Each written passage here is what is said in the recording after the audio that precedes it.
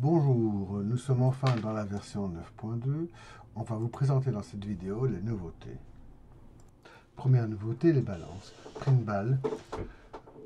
Vous voyez qu'il y a un petit symbole auprès des postes comptables, justement parce que le solde de ce poste ne correspond pas au type de ce poste. C'est-à-dire, euh, par exemple, un poste de charge qui aurait un solde créditeur. Normalement, vous ne pouvez pas avoir ça. Donc, si on va dans Configuration, comptabilité, plan comptable, on peut, dans les différents postes, pour les différents postes comptables, changer le type de poste si c'est nécessaire. Ici, par exemple, on utilise le poste 755, on vérifie le solde, il a un solde débiteur, ce n'est pas bon. On peut regarder et on voit que ce poste comptable a un type produit. Ce n'est pas juste. Il aurait dû avoir un type charge ou produit inversé.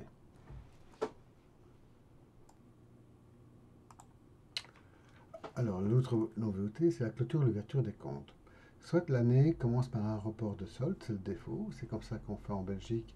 On ouvre les comptes de 0 à 5 chaque année. Donc, les balances commencent toujours au 1er janvier de l'exercice, enfin le premier jour de l'exercice en tout cas. Tandis qu'en France, on n'a pas un report des soldes, mais une clôture des comptes 6 à 7. Et donc là, évidemment, ce qui se passe, c'est que le premier jour est le premier jour du dossier. C'est le premier jour du dossier. C'est, le, quand on a créé le dossier, on a initialisé les comptes et c'est à partir de là qu'on reprendra les soldes. Par exemple, ici, dans l'historique d'une fiche, on voit que euh, ça vient depuis 2021. Si maintenant je décide qu'il n'y a pas de retour de solde, donc je rouvre à nouveau, je reprends l'historique et là je vois que j'ai un solde de l'année et un solde global. C'est le système français où euh, les soldes sont euh, fermés en fin d'année. Pour faciliter les choses, on a créé un menu pour faire les ouvertures et les clôtures. On accède directement ici. Et vous voyez, si on veut faire l'ouverture, on prend la partie gauche, valider. Donc on a 0, ici 0, parce qu'en fait il n'y a rien sur l'exercice 2023. Et si on voulait clôturer, ben on prend l'exercice à clôturer. Et là, on va clôturer les comptes 6 à 7. Et on pourra le transférer dès que c'est validé. Si on ne le transfère pas maintenant, parce qu'on veut, on attend des informations, des amortissements à faire, faire quelque chose. Ce qu'on peut faire, c'est ne rien faire du tout, et automatiquement, la ligne est sauvegardée. Alors ici, vous pouvez soit la reprendre, la corriger, soit euh, la transférer. Et si vous la transférez, vous aurez ici une opération liée. En cliquant dessus, voyez, vous avez le détail de l'opération. Évidemment, si vous avez trop de lignes, vous pouvez aussi les effacer pour ne conserver que ce qui est pertinent. Un autre changement, ce sont les pièces justificatives. Vous voyez ici, nous sommes en mode manuel.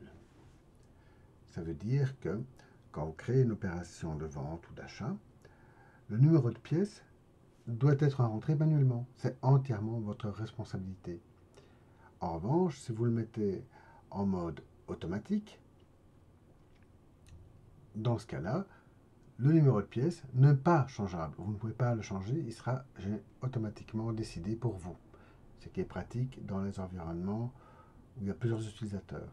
Et en mode suggéré, on vous suggère un numéro de pièce, mais vous pouvez encore le modifier. Cependant, ça peut poser des problèmes parce que si vous le modifiez manuellement, il n'est pas incrémenté. Donc, dans un environnement où il y a beaucoup d'utilisateurs, ils vont mieux mettre en mode automatique. De toute façon, si vous voulez, certains utilisateurs auront la possibilité de modifier les pièces via la sécurité. Donc ici, par exemple, dans Action, vous avez la possibilité de modifier le numéro de pièce pour un utilisateur précis. La plupart de nos projets sont dorénavant dans KidLab. on a réduit les branches pour n'avoir que deux branches, les stables et instables. La stable, vous devriez la prendre au fur et à mesure parce qu'on ne va pas forcément euh, en faire une release. Et la branche instable sert de base pour tous les développeurs. Et si vous n'êtes pas développeur, vous ne voulez pas développer, n'utilisez pas cette branche. Utilisez que la branche stable qui contiendra toujours le dernier, euh, les derniers patchs. Alors il y a aussi le manuel qui est sur GitLab. Si on clique dessus, on arrive euh, sur tous les fichiers qui me permettent de faire le manuel. Donc il y a la documentation complète à propos de ASCII Doctor qu'on utilise. L'avantage ASCII Doctor, c'est qu'on peut le transformer en PDF, en HTML ou en n'importe quel autre format, ce qui est terriblement efficace. On peut directement cliquer dessus. Alors voilà le résultat, à quoi ressemble le manuel une fois qu'on l'a compilé. Voilà qui clôture l'annonce de la version 9.2 et de quelques nouveautés majeures.